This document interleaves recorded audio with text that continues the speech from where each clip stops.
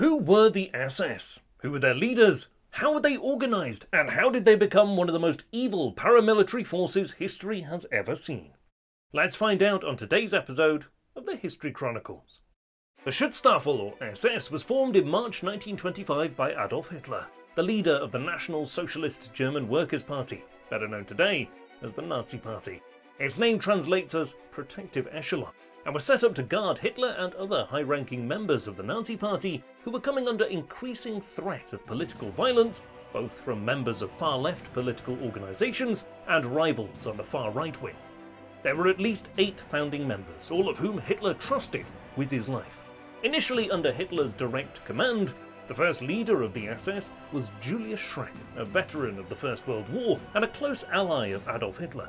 Schreck had been a founding member of the SA, the Sturmabteilung, or Storm Detachment, a thuggish band which had played a significant role in Hitler's rise to power in the 1920s and 1930s. Its primary role had been to provide protection for Nazi rallies, harass the opposition, and intimidate Jews, trade unionists, and Romani people. Schreck would serve as SS leader for just one year, although he later served as a chauffeur to Hitler before developing meningitis in 1936. On his death, Hitler accorded him a state funeral. Schreck was succeeded by Joseph Berchtold, another war veteran who shared the Nazi Party's anger at the way Germany had been handled after the Great War, and especially the restrictions placed upon it by the Treaty of Versailles. Berchtold was also an early member of the SA and was present at the failed coup staged by Hitler, which became known as the Munich Beer Hall Putsch. Under Schreck, the SS had consisted of just a handful of carefully selected members, Berchtold was keen to put his own stamp on the SS, changing his title to Reichsfuhrer of the Schutzstaffel, and imposing a set of rules which emphasized loyalty to the Nazi Party and devotion to Adolf Hitler. He had great ambitions for the SS, but was frustrated by the authority the SA nominally had over his organization, and just a year after taking over the leadership, Berchtold handed the role over to his deputy, Erhard Heiden. After this, he wrote for several Nazi publications before serving as a councillor in Munich, although he remained well connected in Nazi circles. The third leader of the SS in as many years, Erhard Heiden failed to make much of an impression on the fledgling organisation, and indeed, under his leadership, membership of the SS fell dramatically, well below that of the 1,000 men he inherited. He was dismissed in 1929 officially for family reasons but was arrested when the Nazis came to power in 1933 and was executed that same year. The type of recruits the SS had initially been looking for were far from exceptional or people who stood out from the crowd. Rather, they were average citizens who usually held low paid and unskilled jobs. They may have had some previous military experience, but usually they were below or at the rank of an NCO, although they most certainly had joined the Freikorps the unofficial mercenary army that sprang up following the Great War. At first, they were not political zealots, as most of their founding members did not join the Nazi Party right away. There is a high chance early members were brought into both organisations, the SS and the Nazi Party, by the Freikorps leaders, as there tended to be crossover between them, along with other units of the Nazis, such as the Sturmabteilung or SA. But one thing was common in that nearly every person who joined the early Nazi movement resented the government for the handling of the aftermath of the Great War. Heiden was sacked as leader of the SS on the 20th of January 1929 to make way for Hitler's rising star, Heinrich Himmler. Himmler was both enthusiastic and had the organisational talent to take the SS to new heights, initially operating out of 50 Schellingstrasse in Munich, with Himmler being the only member to receive a salary, although to begin with it was only 200 Reichsmarks per month. He sought to expand the SS, and over the next 16 years would turn the battalion of some 300 men into a paramilitary force of more than a million. In the aftermath of the Wall Street crash, political unrest ensued especially with the SA, causing a rift between them and the senior leadership of the Nazi Party. At this time, the SA in the Berlin Gau region was being led by a former police captain and leader of the Freikorps, Walter Stenne. Many SA members were discontented with Hitler's policy to seek change through legal means. They wanted revolution, but Hitler preferred to use them solely for Nazi Party purposes. There were also grumblings of poor pay, overwork, favouritism, and the SA's reliance on the party for funding. In August 1930, Stennes took his demands for more power within the Nazi Party to Joseph Goebbels. Hitler refused to take them seriously, and Stennes came to Munich looking for trouble, wrecking an official building in the process. Hitler returned early from Wagner Festival at Bayreuth to address a meeting of SA stormtroopers which quelled unrest temporarily. But Stennes continued to cause trouble, objecting especially to the lack of resources and the recall of Ernst Röhm to the leadership of the SA, objecting due to his rumoured homosexuality. SA stormtroopers led by Stennes raided the Nazi Party headquarters in Berlin on March 31, 1931, taking control of the building and doing the same to the offices of Goebbels' newspaper, Der Angriff. Hitler told Goebbels to use any means possible to quell the revolt. Stennes was expelled from the party. The revolt brought about a rethink in the nature of the SA and the subservient role of the SS within it. As a result, the SS was given control over many of the jobs the SA once had, with the Sturmabteilung essentially being sidelined. Himmler wished to separate the SS's identity from the SA, and in 1932 appointed Richard Darré as the head of the organization's Race and Resettlement Office, which was charged with controlling the racial integrity of its members. One of the most important measures taken by the SS was the marriage law, which oversaw weddings to ensure SS members married healthy Aryans, which the Nazis defined as a superior race.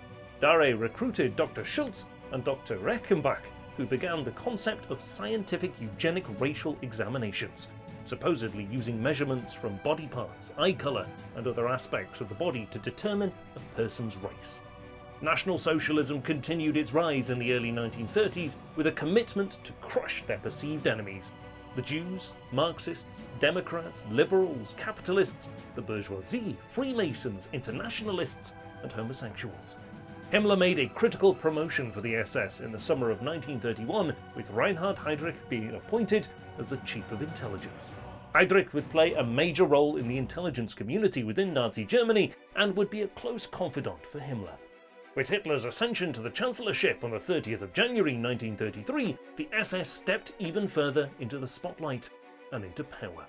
Yet, to solidify this power, the SS would need to dispatch their old rivals, the SA, from their position. The SA had become a massive force in Germany, but their influence had been waning, as their usefulness as street thugs were no longer needed. To get rid of the command structure of the SA and weaken them, the SS and newly formed Gestapo Geheime Staatspolizei, or secret police, fabricated evidence suggesting Ernst Röhm was paid by the French to rebel against Hitler. On the morning of the 30th of June 1934, Hitler, along with SS officers and regular police officers, arrested Röhm and the senior staff of the SA in the town of Bad Wiessee. The Night of the Long Knives, as it would be called, would see many political opponents purged, and cemented the SS's dominance over the SA. The SS took control of three concentration camps following the purge, in addition to the SS's own concentration camp, Dachau, which opened on the 22nd of March 1933. Theodor Eicke would be the most influential member of the SS in creating the concentration camps. Most of them, however, apart from Dachau and Lichtenfeld, were closed in early 1936 in order for newly designed camps to open, such as Sachsenhausen in 1936 and Buchenwald opening in the summer of 1937. Another major camp Flossenbürg in Bavaria opened in May of 1938, along with the first camp in Austria following the Anschluss at Mauthausen. The last of the major pre-war concentration camps was Ravensbrück, opening in May of 1939 as a replacement for Lichtenberg as the women's camp. The SS saw a period of rapid expansion during the mid-1930s, with its membership reaching 50,000 in 1933. Reinhard Heydrich consolidated the organization's strength by gaining control of all of the police forces in Germany and broadening their activities. Special units were formed to receive military training with the army. And by 1939, the size of the SS was now put at 250,000 men, and there was a need, with the outbreak of the war, for further reorganization. It was divided into two main groups the Waffen SS, which itself was divided into three sections, namely the Leibstandarte, which supplied Hitler's bodyguards, the SS Totenkopfverbände, or Death's Head units, which were solely responsible for administering the concentration camps and the later extermination camps. Its name derived from the skull motif which appeared on their caps, and the Verfügungstruppe, which were elite combat soldiers serving alongside the regular army. The second division was the Allgemeine SS, which was split into six branches. The command staff, who oversaw the military units, Personnel Office, Recruiting Office, Administrative Office for Military Courts, Administration and Supply Office, and Medical Office. In addition to the six main branches, the SS also housed a press department, welfare office, and inspectorate of concentration camps. The SS also had economic interests, leading to the creation of the Wirtschafts- und Verwaltungshauptamt, or Business Administration Main Office. The WVHA became involved in forestry, brickmaking, quarrying, pottery, building materials, bottling, meat processing, bakeries, clothing, and medicine. In order to pursue these interests, the SS would use the exploitation of slave labour through the concentration camps to enrich themselves.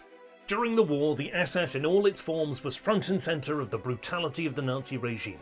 Apart from overseeing the concentration camps, some troops specialised in carrying out atrocities in the countries occupied by the Nazis. Not all were German nationals. Eventually, the Waffen-SS included members from Hungary, Yugoslavia, Romania, and even saw volunteers from France and Great Britain.